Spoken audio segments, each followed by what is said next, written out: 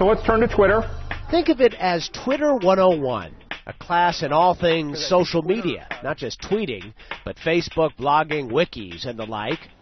It's happening at Boston College, where they're trying to put their finger on this online explosion. I actually just started using Twitter for this class. Initially, I started off with Facebook, so kind of like grew more familiar with it.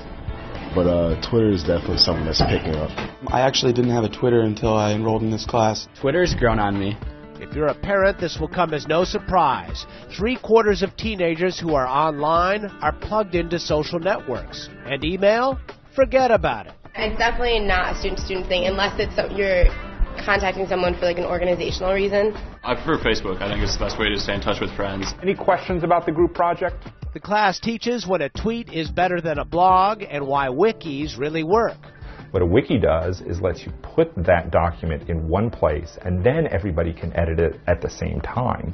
Um, so rather than passing it around, here's a new tool that cuts through all of that. These tools really have the ability to change the way people interact and collaborate with one another. All these projects are going to be a wiki page. So the extent to which you meet face to face is up to you. See that face to face thing? It's over. No, it's not over. With support from the National Science Foundation, Gerald Kane is studying the impact and the uses of social media in education and the workplace. One of the companies he is focused on is Sermo, a social network for doctors. Or, in fact, the largest online physician community. And every day, uh, tens of thousands of physicians log in, and share information with one another. Kane says social networks undermine corporate hierarchies, giving employees and customers a soapbox, a virtual unfiltered megaphone to millions. These things are happening whether the organizations and whether the managers like it or not. So many companies have decided it's best to join them, otherwise, they're left out of the conversation.